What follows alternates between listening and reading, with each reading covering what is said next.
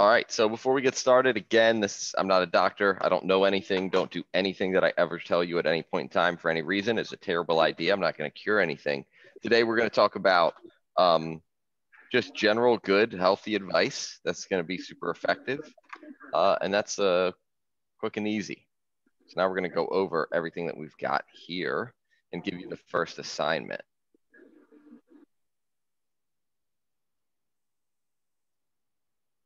All right, can everybody uh, see my screen that I just shared? Give a mm-hmm. thumbs up or something. Yes. All right, cool. So what we're doing is building your system to make sure that you can burn fat, as much fat as you want, and keep it off long-term easily. So this is building your system. And what we're gonna do is progress on it every single week and get more in depth and more detailed with each piece. The pieces will grow, more pieces will be involved where your setup is will change and grow as you change and grow. So it's constantly going to build on itself. So this is a smaller version of our overall health and fitness pyramid that we want to build on to be successful. And it works just like any other pyramid would work. If I'm building everything at the top and not filling out that base, that structure at the bottom, eventually it's going to all topple down or it's just not going to work. You can't build it higher if the base doesn't get wider, more solid. And it's going to give us a really good visual of how to build this out and what key points to hit and what to address before we move on to the next one. And as you fill in the pieces from the bottom up, everything gets easier, better, faster. It makes more sense. There's a lot less decision making. There's a lot less to figure out, a lot less problems to solve, and it makes everything easy. So this right here is a small shrink, smaller example. Purpose, psychology, environment as the base of the pyramid, which are super important. Then we have nutrition, conditioning, body control, and strength. There's more, it'll grow and change, but this is the base that we're starting with. And I'm gonna break down what is in each layer that we wanna hit. And I'm gonna do it really quickly. So if you have questions, think about them and ask them. Purpose. So filling out a bottom layer of understanding what your purpose is and what we're trying to do here. So we have four questions that have to be answered. Why do you want to do this? Whatever it happens to be that you want to do, why? Why do you want to do it? And why is it important to you? Both why do you want to do it? Why is it important that you do it? And why is it important all of your whys? I want to be healthy for as long as I can to be around for my kids. Why is that important to you? And then elaborate on it. Why are the important things the important things? And what are your main priorities and values, and why did you choose those? This is the base for everything that we're going to build off of it. If I want to be able to do hiking and outdoor rock climbing with my kids until I'm 100 years old, doing AMRAPs with heavy deadlift and heavy snatch is probably a terrible idea that doesn't fit with my why, what's important to me, and what my values are. So everything that I'm doing becomes detrimental and works against itself. Psychology, this part's unbelievably important, particularly when we get to what do you believe your odds of success are? When you look at key things like what is your identity? How do you identify as a person? What are your dream goals and outcomes? What are your key values? What's your priority list that you have? What motivation level are you? Those all increase the odds of success with more than enough studies to justify that any human being on the planet should use them no matter how they feel about them. So, who are you? What is your identity? I asked people a few weeks ago to choose a new identity that they were going to, or the first step of a new identity that they wanted to adopt that will help them with everything that they're trying to do. And that new identity is super simple and super small. Something like, I'm the type of person who doesn't miss workouts. That's the type of person I am. That identity, that mentality pushes you to show up for more workouts than if you did not have that mentality, especially if your identity is and who you are is somebody who struggles to lose weight. If that's your identity, then you're always going to struggle to lose weight. So what you want to do is start to write out who are you and what is your identity. And the more of those statements that you can make, the better. I'm the type of person that always eats vegetables because I know that they make me feel good. I'm the type of person who doesn't miss workouts. I'm the type of person who make sure they have a meal plan organized ahead of time for decision making. I'm the type of person who, if you don't have at least five, you're struggling. Dreams, goals, or uh, it's rather dream goals and outcomes. In a perfect world, what exactly do you want to accomplish in as much detail as possible? If your goal is to be at X amount of weight and that's it, you need to elaborate a ton. Um, what do you believe your odds of success are? If you're like, you know, this has a 20% chance, not good. Motivation level, on a scale from one to 10, how motivated are you to do it? Make a list of your priorities. What are they? And then we're going to do the 25 and five. So um, if you don't know what that is, it'll be fun, but you need an actual physical list of your priorities and a physical list of your key values filled out. Environment. This is where we're tweaking and improving, in improving our environment. So sleep. We talked about the main sevens, getting seven hours of sleep per night.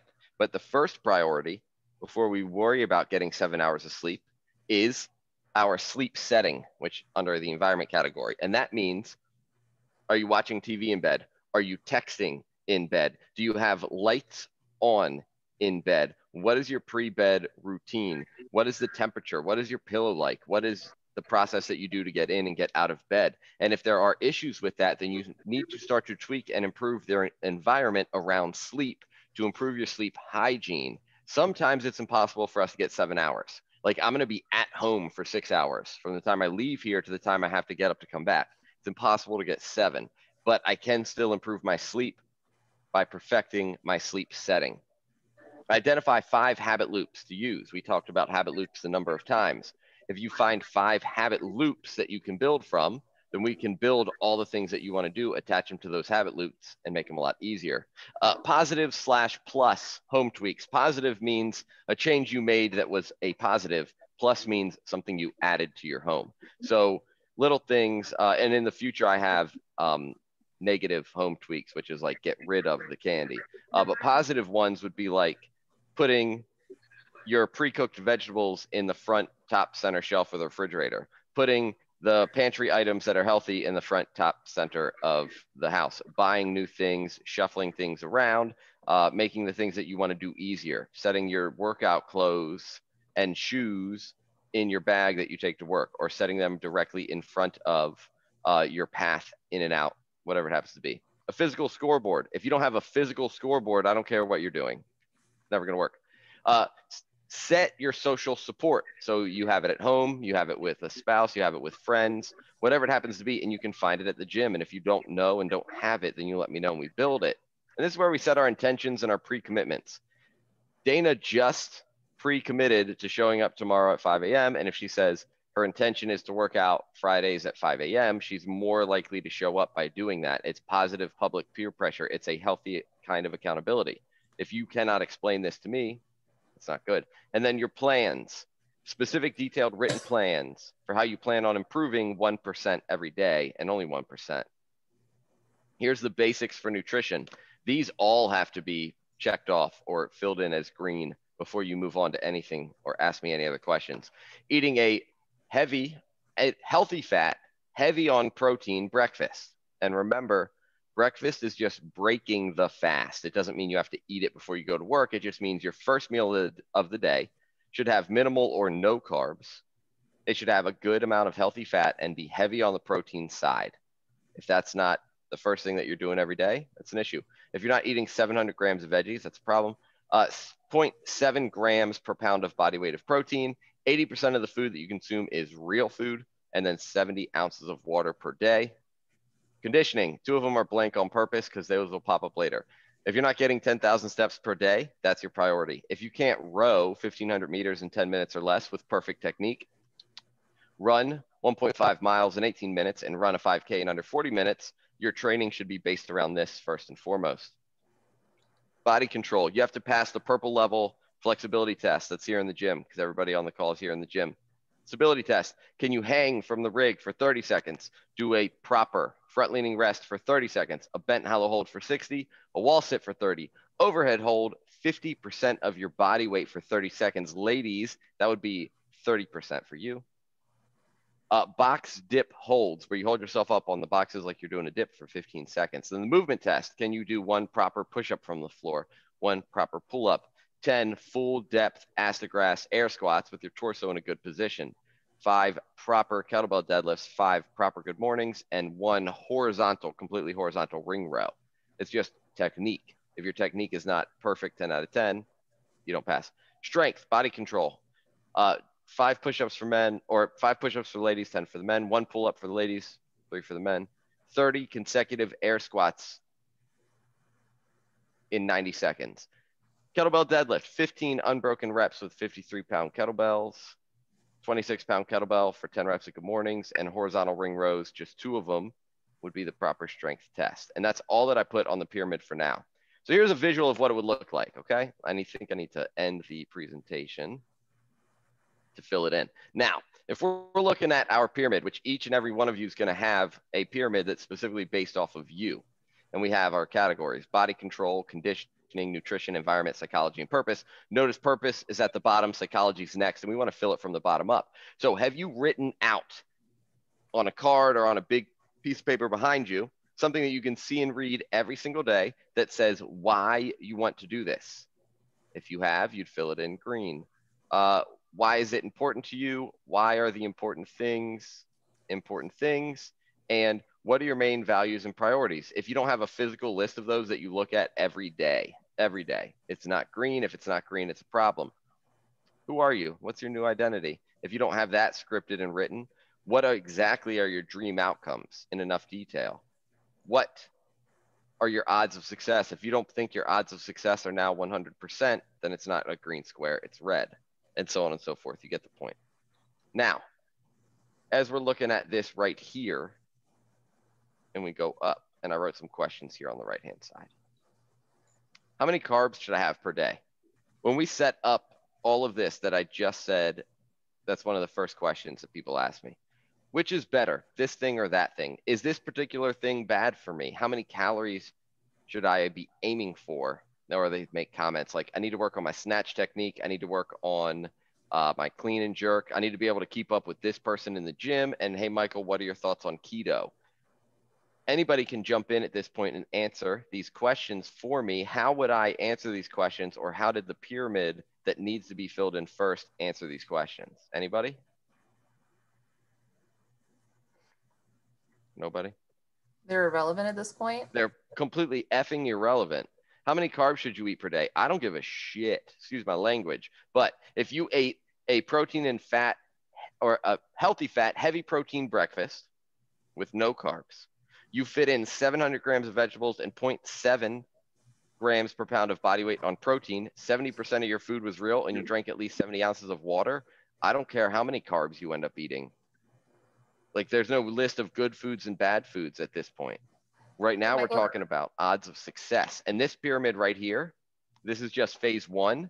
And if this one is 100% green, you're guaranteed to have everything you need to be unbelievably healthy and become a fat burning system. Are there little tweaks if you want to look like a figure model or a bodybuilder? Sure, that's on more advanced stages. But for every single person on this call and every single goal that you've had in terms of body weight from anybody on here who said anything to me, you get there from this alone. So asking questions outside of it doesn't matter, right? So here's another couple of examples. I'll just copy this green one here. So we fill in, we're like, hey, I'm trying to do more push-ups. I'm trying to be able to do this Metcon. I'm trying to do blah. And then they ask, hey, Michael, what do you think about this? Can I work on my snatch technique? I need to beat Clint in the gym. And they're leaving all of this shit blank. And if I started filling them all in as red and problems, it would probably make everything a whole lot more clear for you. You can see I'm doing my artwork on the call if you don't have these things, they're red. So what you're trying to do and build up here is completely irrelevant. These questions don't matter. And the reason people struggle and fail and can't move forward is because they're worried about so many of these things instead of just this stuff right here. Does that make sense? Mm-hmm. Who had a mm-hmm. question? Somebody tried to ask a question during that. What does 700 grams of vegetables look like? Um, so a, a like a salad bowl of salad that has is filled with lettuce that lettuce is going to be like 125 grams of lettuce. But broccoli is going to be heavier in terms of grams than lettuce, and peppers are going to be heavier, and carrots are going to be heavier. So you want to eat as much greens as you can, and you want to get to 700 grams. What it's going to look like is going to vary by which vegetables you chose. Okay. Does that make sense? Yeah. Uh, I have a question. Let's hear it. about the 0.7 grams of protein per pound. H- How often do you adjust that if you're losing weight? Well, we want it to be more aimed towards our lean mass than our total mass. Like, let's say somebody's 300 pounds, but their lean mass is 120 pounds. We would be basing it off of the 120, not the 300. Okay. So in that in that example, Kim, um, that person, their weight would start coming off. But if they're training like we assign you guys to train and they're eating like this, their lean mass is likely to go up. They're going to build muscle, right? So their protein, even though they're 300 pounds, would probably go up. And if you're eating mostly real food, you're following the guidelines that we want you to do, and you aim for 300 or 30%, so you know 210 grams of protein per day. Um, that only works more in our favor, not less, because you're going to be full on healthier proteins. You're going to feel better, but it's not a failure to fall short of 0.7 grams per pound of body weight when we have a big discrepancy between our body weight or overall body weight and our lean mass. Does that make sense? She's muted, Yes. but she, yeah, there we go. Excellent. Other questions that you guys have right now? How do we get this chart? Uh, this chart I just made like 20 minutes ago. Um, so everybody that's on this call right now is gonna get an opportunity to uh, speak to me one-on-one, and uh, and I build your chart for you with you. Now, I'll ask the hard question. What happens if you're not very, like for your purpose in your psychology, attuned to yourself to get those questions answered?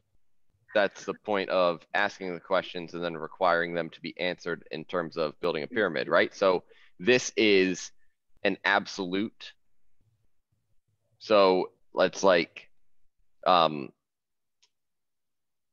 you have to hit five standards to graduate.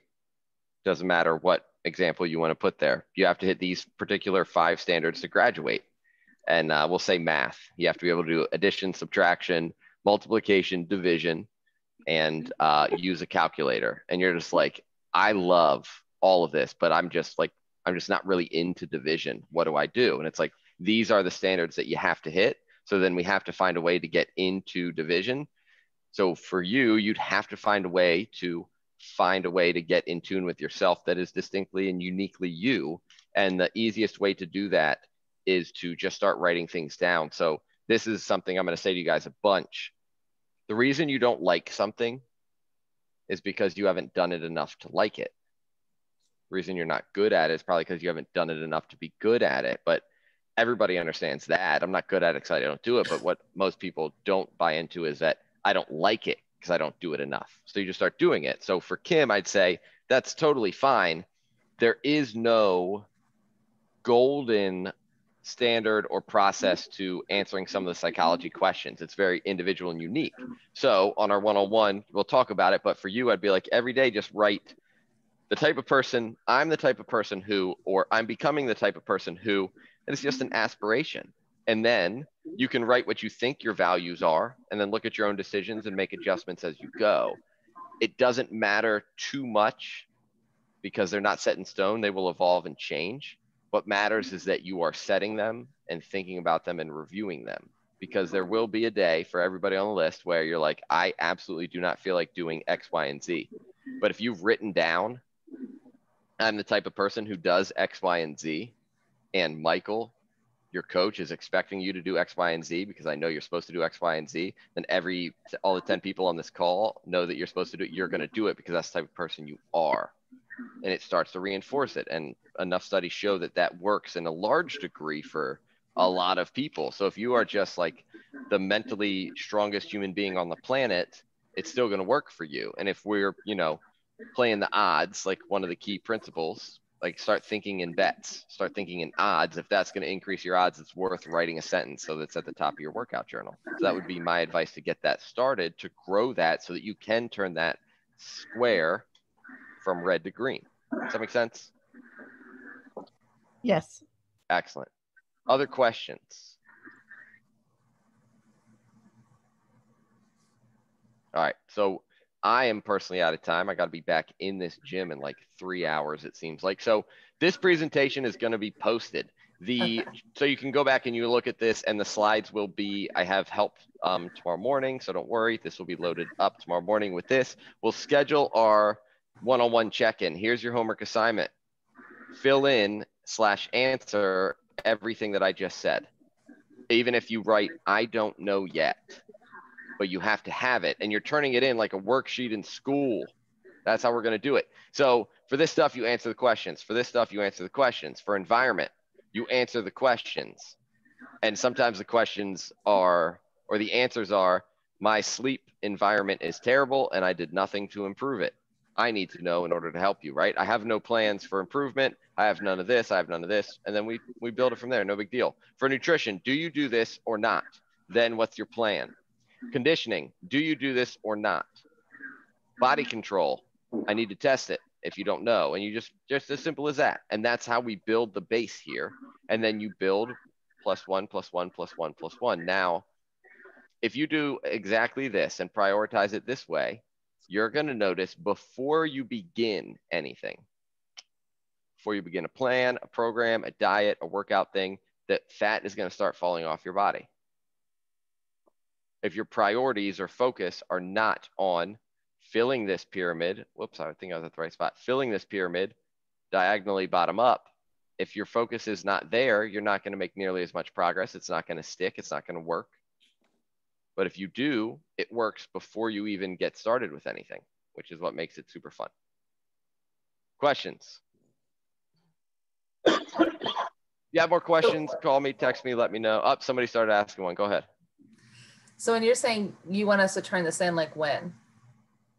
Uh, text it or email it, Okay. or have a physical piece of paper for our meeting, even if it's a Zoom call or a phone call, as long as you have a physical piece of paper. I don't care how you do it. When you get it to me at first, then we'll build it from there. Um, simple as that. If you send it as text or an email, it is in the cloud somewhere. We'll find it. Okay. All right. I will be texting all of you, giving you different updates um, of things to come next week when William's back in school. Text me if you need anything. I'll see a bunch of you in the morning. Thank you guys. Awesome. Thanks. See ya.